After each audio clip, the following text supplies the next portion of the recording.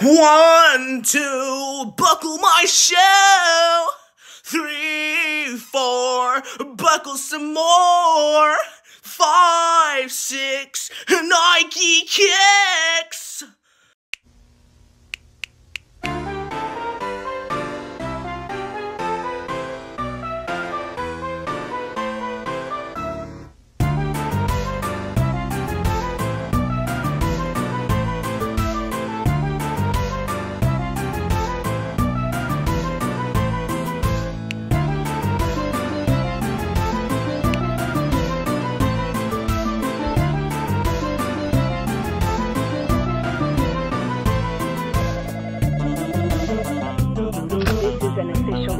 Police department.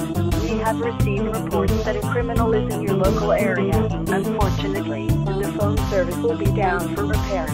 Here are steps to ensure your safety if you are a victim of an intruder incident. 1. Hide and don't wander the house. Stay in one room. 2. Wait for the intruder